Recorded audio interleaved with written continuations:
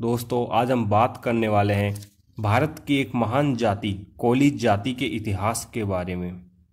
कोली जाति, जिन्हें हम महावर, माहौर, कोलिय व आदि कई सारे नामों से जानते हैं। इतिहासकारों के अनुसार, कोली जाति की उत्पत्ति कोलिय वंश से मानी जाती है।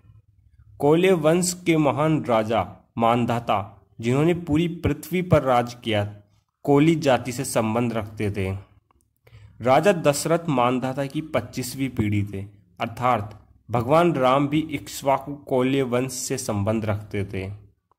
यही नहीं, मुंबई का नाम बम्बई भी कोल्य वंश की देवी बुम्बा देवी के नाम से पड़ा था।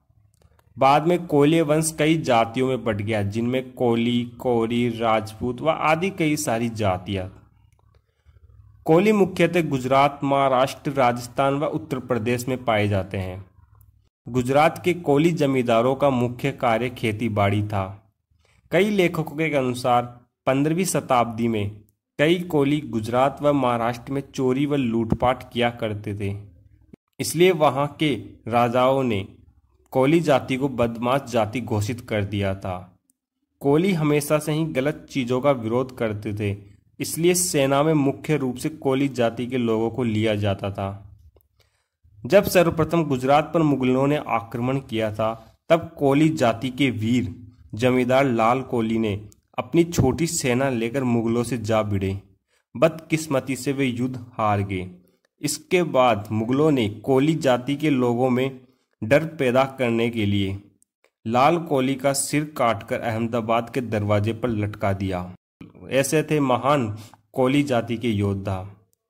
कई किताबों में लिखा है कि अंग्रेज़ भी कोली जाति से डरते थे। इसलिए 20वीं शताब्दी में अंग्रेज़ी हुकूमत ने इन्हें खूनी जाति घोषित कर दिया। इतिहासकारों के अनुसार कोली जाति जन्म से ही क्षत्रिय राजपूत है।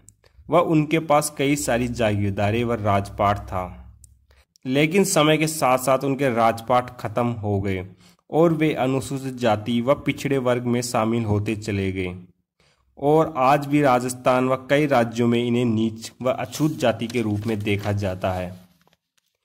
कोली जाति में कई महापुरुषों व वीरों ने जन्म लिया है। जैसे महाराज शिवाजी, कान्हाजी आपटे, झलकारी बाई, तानाजी मालसरे, यशवंत राम मुकुंदे, भारती शिमाल, राजेश चूड़ासमा, प्राजक्ता कोहली व भारत के राष्ट्रपति रामनाथ कोविंद। तो दोस्तों, यह था कोली जाति का महान इतिहास।